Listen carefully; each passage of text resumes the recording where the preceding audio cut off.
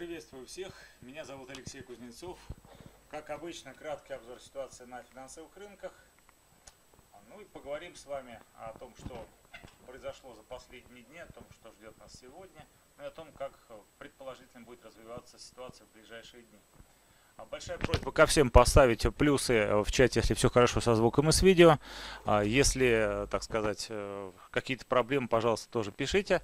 В общем-то, у меня все хорошо, с, вроде как на мониторинге, так что все должно быть вроде нормально. А, что ж, сейчас я вот специально для вас как микрофон уж поближе стал держать, чтобы звук был получше. Надеюсь, что все будет хорошо. Итак, я думаю, что сегодня как раз рынки видно, что застыли в ожидании решения Федерального резерва. Э, заседание с вчерашнего вечера происходит, и сегодня к вечеру будут оглашены результаты данного заседания. А, будет э, сказано о том, будет ли повышена процентная ставка, но в целом эксперты ожидают 100% э, повышения ставки на 0,25 базисных процента. И, а, в общем-то, даже не в этом идет речь, как бы интрига не в этом. А, в общем-то, все ждут, что повышение ставки все-таки состоится. Об этом много говорили. В основном будет разговор о том, что же ожидает нас вот в будущем году. Потому как а, по большому счету до этого нацеливались на однократное повышение процентных ставок, но в связи с изменившейся ситуацией на, ну, скажем, такой в политическом контексте со, со сменой президента Соединенных Штатов совершенно противоположной политикой с уклоном на экономическое развитие Америки и так далее, меняется конъюнктура и э, есть вероятность того, что Соединенные Штаты будут повышать процентные ставки неоднократно и в будущем году, так предположительно, ожидается э, двухкратное повышение процентной ставки. Но, так сказать, Федрезерв может э, сказать о том, что а, повышение может быть более мягким, может быть более жестким. И это, конечно же, а, ну, повлияет на ожидания участников и может вызвать э, те или иные смещения. Ну, а в целом, если посмотреть вот на рынке за последние дни, видно, что а, нефть очень активно, даже, можно сказать, агрессивно росла. И, так сказать, все уже, практически все решения, которые были приняты, они уже заложены.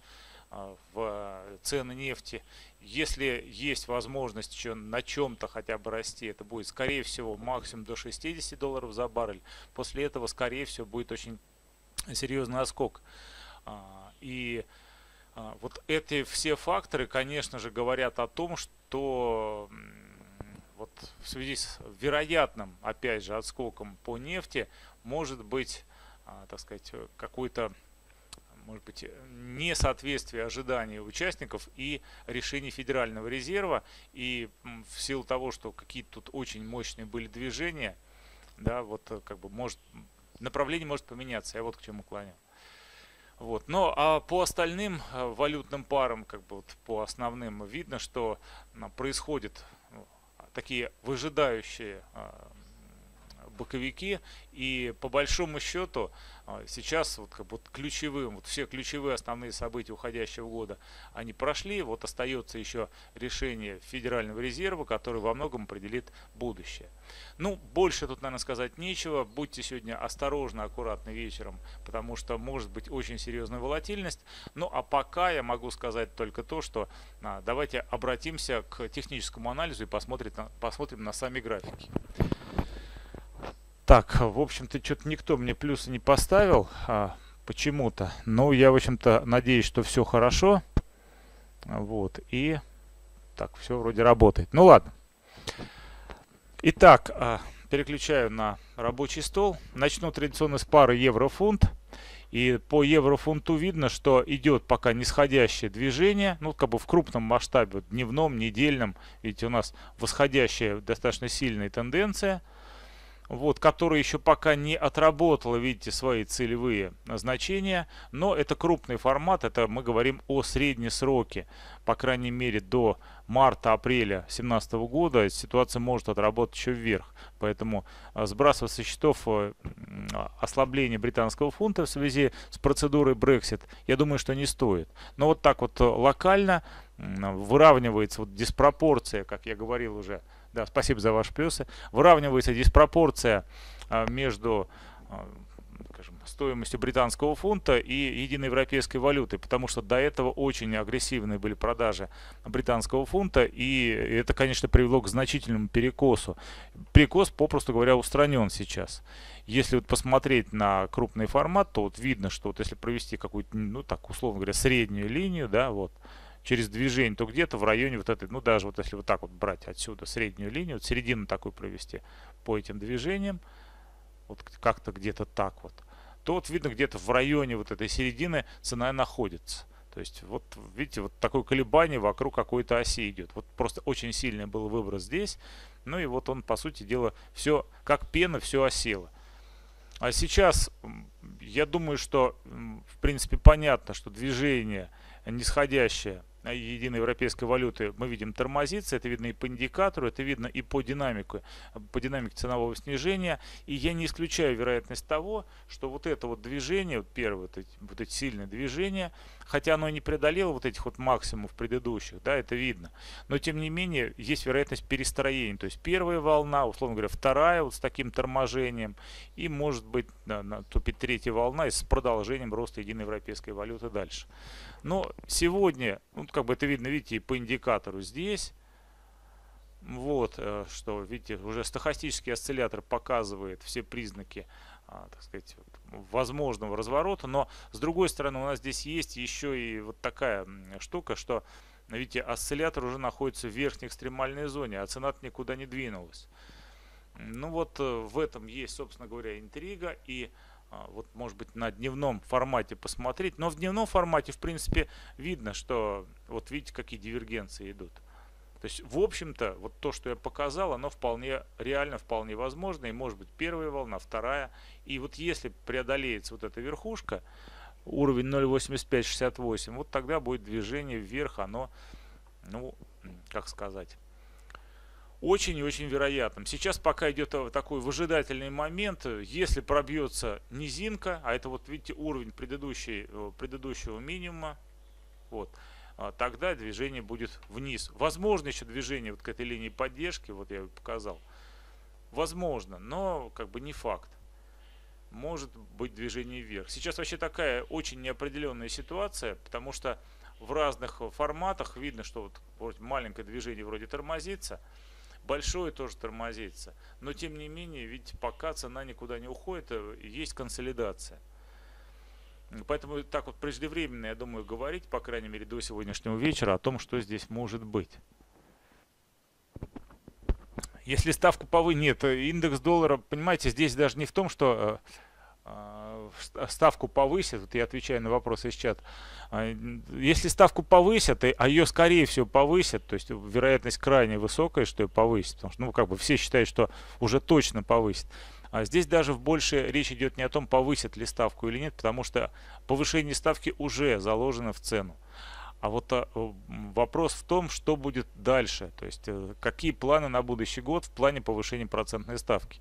Если будет а, повышение процентной ставки более такое серьезное, да, то есть по сравнению с этим даже годом, то, конечно же, американский доллар может начать укрепляться, и это может ударить по так называемым а, валютам развивающихся рынков, а, в частности по сырьевым валютам.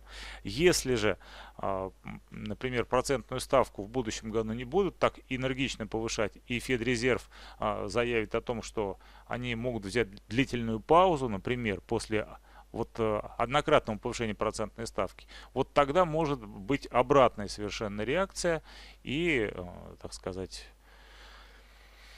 э, американский доллар может пойти наоборот в, на снижение. То есть вот и вот этот боковик большой по евро-доллару, в частности, может продолжиться. Но сейчас мы к евро-доллару перейдем. В общем-то, есть вероятность того, что Федрезерв не будет особо закручивать гайки в силу того, что непонятно, чего сейчас еще происходит. А, Трампомания, так называемая, она, конечно, сейчас влияет на умы людей. Но вместе с тем все понимают, что Трамп один, даже со своей командой против э, Конгресса, да, против Сената, он все равно не сможет пойти, а там достаточно большое количество людей, приверженных э, прежней политике Соединенных Штатов. Вот, э, и, так сказать, а, там, ну, в общем, много там противодействий у него будет в любом случае. И так агрессивно проводить свою политику он в любом случае не сможет. Эм, в силу этих причин, конечно же, вот э, вероятность там каких-то а, очень жестких мер Федрезерва, она очень небольшая и может э, наступить отскок по а, американскому доллару. Вот давайте евро-доллар посмотрим. В общем и целом, конечно, видно, что сейчас цены застряли в районе уровня 1.05-1.06. То есть пытается, пытается евро-доллар зацепиться за этот уровень. И э, пока вот все находится в рамках вот очень пологого канала после очень сильного падения. Вероятность укрепления американского доллара просто продолжает оставаться очень высокой. Тем не менее, да, и если будет все-таки а, действительно какое-то заявление серьезное, то могут просто пробить вот этот уровень поддержки 1.05 и полететь к паритету. Но с другой стороны, я так думаю, что не очень многих а, сейчас э, ну, руководителей а, финансовой системы как бы такая позиция устраивает, чтобы значит, доллар, евро-доллар э, к паритету шел или даже ниже, а тут, скорее всего, будет падение значительно ниже даже паритета. И э, из-за этого как сказать, вот эти вот решения могут быть просто не приняты. Вот, либо как так размазаны во времени. И поэтому вероятность отскока вверх, она, тем не менее, в общем, сохраняется. Мы видим, что тем, вот, американский доллар все-таки пока лидирует. Но вместе с тем видно также, вот по дневному формату, смотрите, вот на понедельник, видите, открылся с разрывом, но полностью была свеча поглощения. Это тоже, в общем-то, причем от уровня, все как положено. То есть это тоже достаточно сильный сигнал а, вероятного отскока. А, как бы не факт, конечно, но тем не менее. Видно, что пока участники рынка не готовы идти дальше и ниже э, к паритету, пока вот без решения Федрезерва, это совершенно очевидно. Вот так что сегодняшнее решение – Федерального резерва, оно может послужить очень серьезным толчком а, к движению, так сказать, вверх или, соответственно, вниз. А, индекс доллара. Ну, ситуация очень прям похожая. Видно, что здесь есть попытка укрепления американского доллара серьезно, но тем не менее, видите, сейчас все находится в, прям в таком боковом а, диапазоне, то есть практически последние там, вот эти вот, ну, на этой неделе ничего с индексом доллара не происходит, вот оно присутствует ожидание. Поэтому отсюда может выпрыгнуть как вверх, так, соответственно, вниз, опять же, к а, вот этой зоне. А, мы видите, вот, кстати говоря, вот после такого мощного роста индекса доллара, ведь не было, совершенно не было, как бы, не дошла цена до 50% по Фибоначчи. Вот это очень и очень подозрительно в этом смысле э, на предмет того, что может быть снижение. Потому что после таких сильных движений, ну, практически, как правило, э, цена все-таки сюда приходит. И я не исключаю возможность того, что будет вот как раз уход в район 98-99 э, вот, индекса доллара. Ну, посмотрим. Я, конечно, не могу говорить, потому что, видите, Федрезерв еще не принял решение и комментариев не сделал. И это видно, в общем-то, по настрою участников. Я же как бы не оракул, да, но тем не менее я смотрю просто на рынки и а, пытаюсь понять, что же происходит. Видно пока, что вниз не пускает, вверх, соответственно, тоже. Но вот уже какие-то первые попытки, скажем так, движения к этому уровню, тем не менее, видите, здесь пытают, пытаются наметиться. Вот это все было вызвано, конечно же, ну, предыдущими событиями, да, достаточно как позитивными для доллара, но а, сейчас, в общем-то, пока еще несколько непонятно, что тут будет происходить. Вот. Доллар-франк. Ну, вот как я и говорил, в принципе, э, значит, до вершинки цена достала, тут был канал нисходящий, да? Я сказал, что вот если пробьется, может пойти вверх и обновить вершинку. Вершинка обновилась, но уровень очень сильный. Здесь вообще цена сильно застряла. И опять же, смотрите, после вот этого роста мощного цена до 50% не дошла. И это может спровоцировать падение сюда к 50%. Ну а потом, может быть, после какой-то болтанки цена опять постепенно полезет вверх сказать сложно, но в общем и целом, как бы вот э, на средний срок, конечно, задел здесь есть в плане повышения, укрепления американского доллара, но вот в моменте э, по решению Федрезерва э, я допускаю вероятность отскока американского доллара вниз. Ну, по отношению ко всем практически. Британский фунт, опять же, вот если, как говорится, брать, а, британский фунт. Видите, немножко, ну совсем там 15 пунктов или там даже 13 пунктов. Цена не дошла до значимого уровня сопротивления 1.28 и вот 1.29. Вот где-то вот в этом районе а, я ожидаю все-таки, что сюда э, британский фунт придет, потому что когда вот эти вот совсем чуть-чуть, вот совсем чуть-чуть, как правило, они э, все-таки приводят к тому, что а, цена сюда все-таки приходит. И видно пока, что вниз, видите, не пускает британского фунта, несмотря на все давление, которое он испытывает.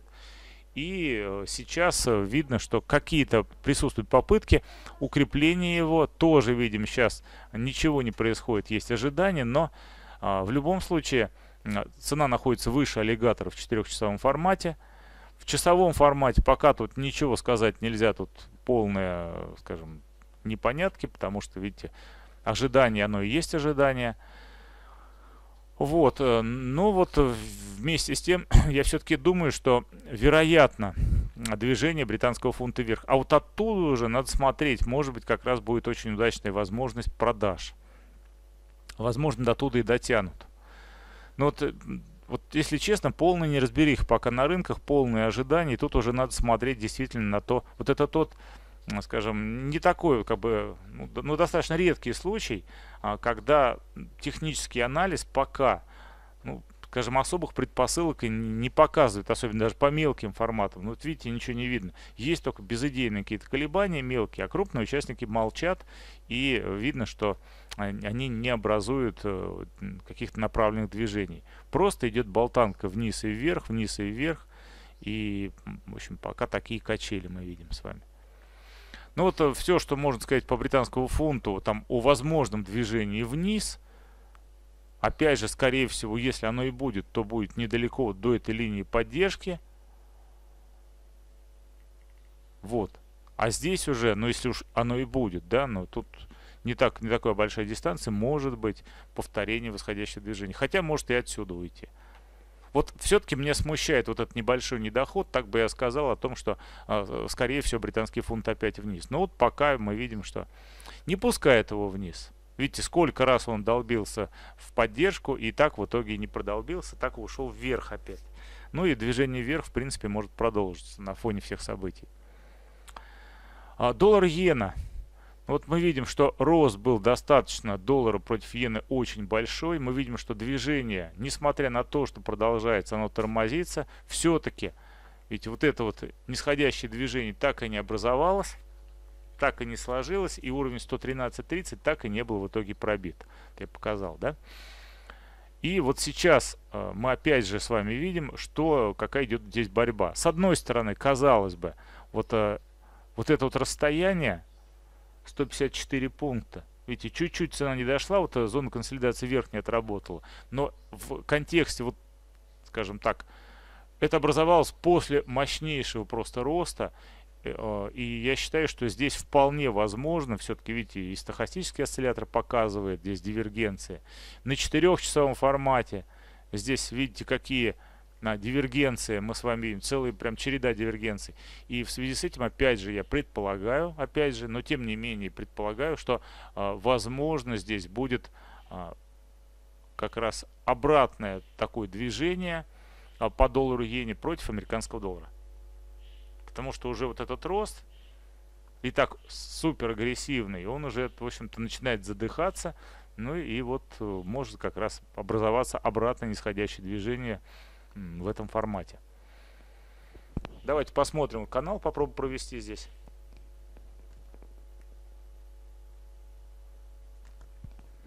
Вот видите, опять же, если будет преодолена или, по крайней мере, еще раз попробована линия поддержки без касания верхней границы канала, то, конечно, вероятность нисходящего движения становится очень и очень значительной.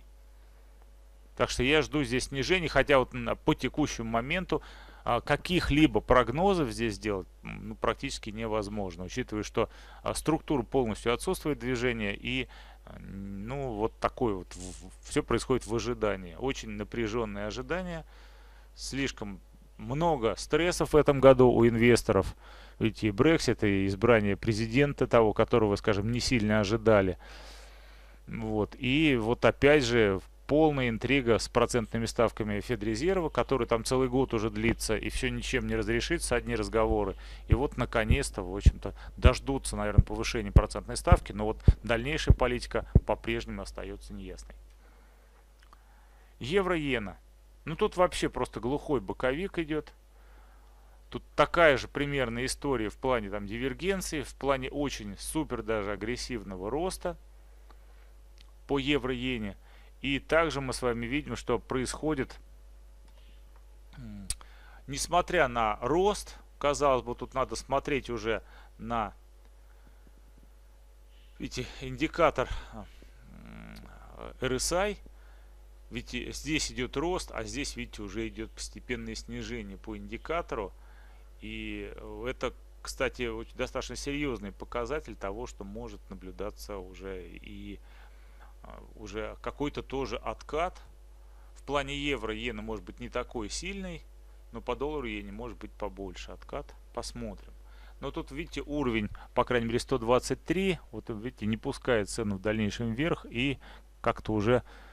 Хотя тоже здесь как бы очень неровное движение, но вот оно потихонечку начинает как будто бы клониться уже к закату и может наступить обратная реакция на фоне всех вот этих вот скажем, всей структуры движения. Вот смотрите, какое мощное идет ожидание. По австралийскому доллару тоже вот этот вот боковик продолжается. Пытается, пытается цена преодолеть уровень 0.75. Пока не, не сильно получается. И вот вокруг него цена пока крутится. Что здесь будет дальше? В общем и целом мы видим, что эти австралийский доллар пытался тут снижаться. Вся эта борьба происходит на линии сопротивления недельного формата. Вот. Но в общем и целом, конечно, сейчас много чего может э, как бы и то, и другое. Любое решение Федрезерва, в принципе, э, может э, достаточно серьезным образом, вот опять же, из-за экономической конъюнктуры ударить по сырьевому рынку. И цены на нефть могут откатить, и а, вот австралийский и новозеландский доллар тоже.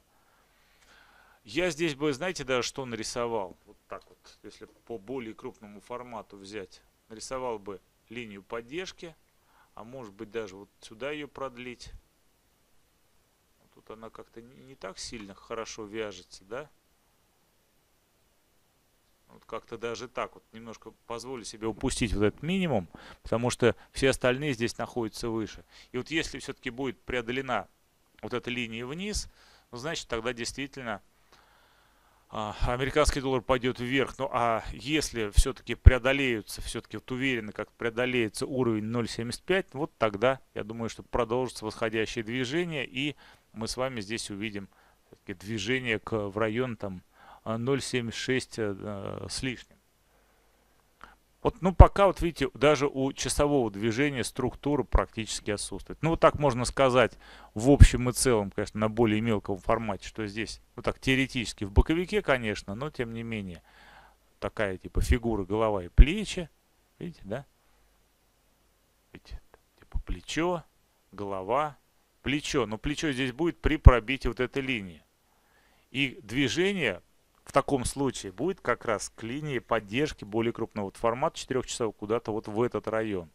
Ну, возможно, возможно, но опять же как бы не факт, потому что здесь вот это все движение также можно уложить в другую структуру, которая еще тоже не сформировалась пока. Вот в такой, например, треугольник. Почему бы и нет? Видите, тоже если будет продолжение движения вверх, вот, пожалуйста, треугольник, и отработка будет как раз вот вверх, в сторону вот этой вот цели. Не знаю, в общем, короче говоря, здесь очень-очень сложная обстановка, и прогнозировать что-то здесь очень, ну, не знаю, прям сложно. Мы видим, что даже по новозеландскому доллару э, тенденция вверх, сложная, видите, такая размашистая очень, но тем не менее вверх. Сейчас все встало на важном уровне сопротивления 0.7220. И пока что вот это вот, видите, линия поддержки тоже вот как-то вот так ее что ли пометить. Ведь тоже она пока не преодолена. И возможно, вот движение, ведь тоже оно начинает клониться, хотя, в общем-то, здесь не сказать, что прям сильный какой-то наклон, тут тоже полная неопределенность. Вот тенденция есть четырехчасового формата. Видно в дневном формате, что движение у, против вот предыдущего падения а достаточно такое тяжелое вверх и возможно движение вниз. И тут и голова, плечи есть и так далее. Но, скорее всего, почему-то у меня такое ощущение, что сейчас такие, э, такая степень, степень неопределенности, что может быть высокая волатильность, а цены останутся при том же. А, и может здесь просто все уйти, опять же, продолжение вот этого бокового движения, продолжение флета крупного, дневного. Не исключаю, потому что, видите, здесь все вот уперлось в большую такую зону сопротивления. И вот этот флет, который мы здесь с вами видим, он может продолжиться еще некоторое время. По крайней мере, до вступления, например, а, в должность нового президента Соединенных Штатов. Почему бы и нет? Потому что так или иначе он пока еще не вступил в должность, и его политика, и его, скажем, кабинет новый пока полностью не сформирован, и участники рынка пока не могут просчитать, ну, достаточно э, четко, э, куда, скажем, дунет ветер при его в силу. И вот э, в связи с этим, может, вот эта неопределенность и мы э, видим. Может, даже не столько это связано с Федрезервом, сколько с неопределенностью будущего управления Соединенными Штатами. А, ну, вот как я предполагал, э, по доллару, канадскому доллару, цены дошли до линии поддержки, вот этой крупной, дневной. Вот смотрите. Видите, цены дошли до линии поддержки практически. И это говорит о том, что здесь уже, и видите, и застряли. Это говорит о том, что может быть теоретически, вот смотрите, здесь а, какой-то ложный выброс небольшой вниз, и потом движение развернется. Может. И второй вариант, в силу того, что, смотрите, это движение вверх было достаточно таким, ну, сложным, и тоже, видим, размашистым, и тоже в какой-то мере натянутым, но тем не менее, а, если будет принято противоположное решение, мы находимся, видите, на такой вот принципиальной линии поддержки. 50 а уровень, как я говорил, уже был все-таки достигнут.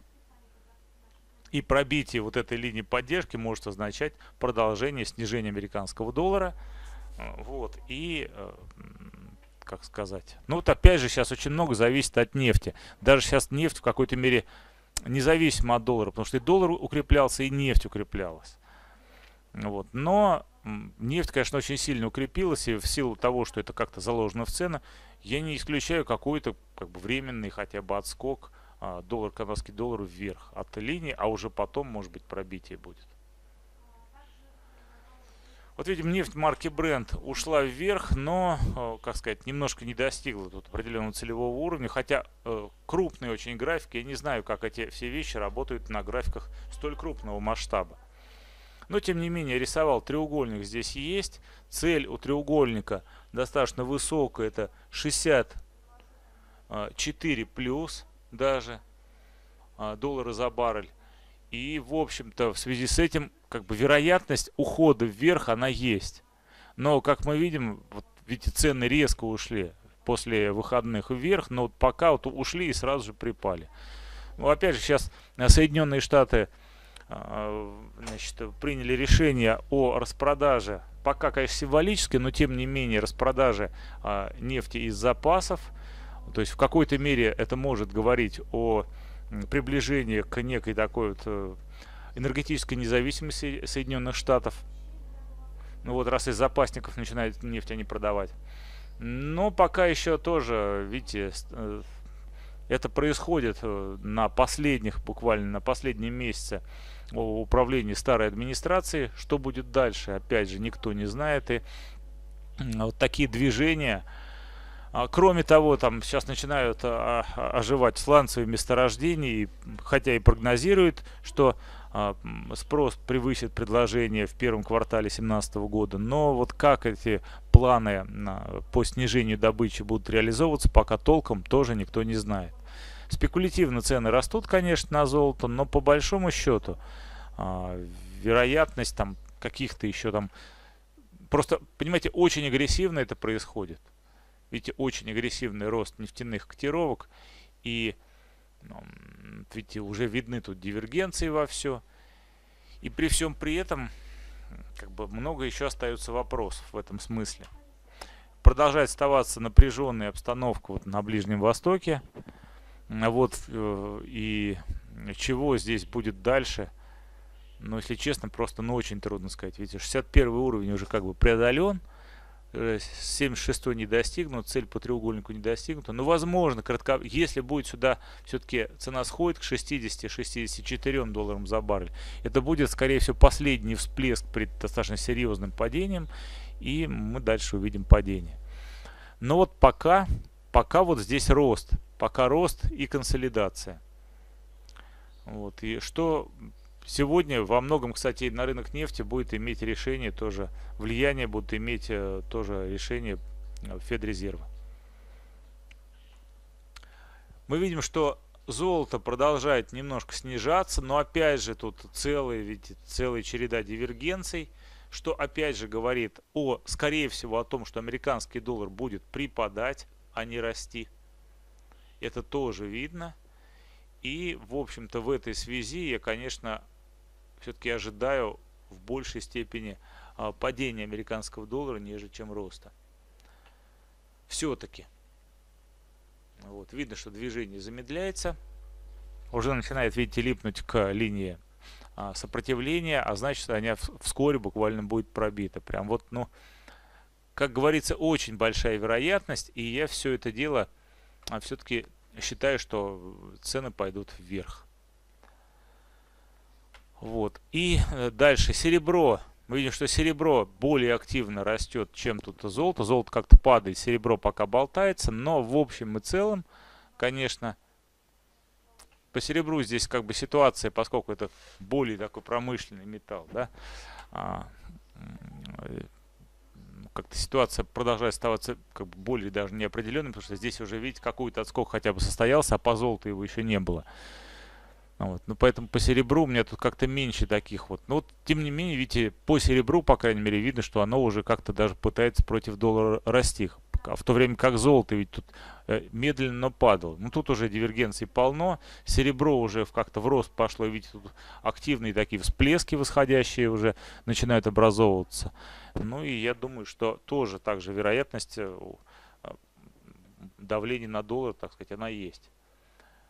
Что касается рубля, все-таки тот уровень, о котором я говорил, уровень 60,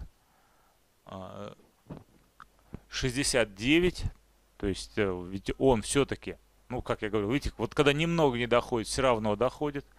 Но поскольку цена до сюда дошла, и ведь очень агрессивно дошла, вот в этом районе, я думаю, что может наступить очень серьезное торможение. Потому что дальше тут, видите, опоры уже вообще никакой нет.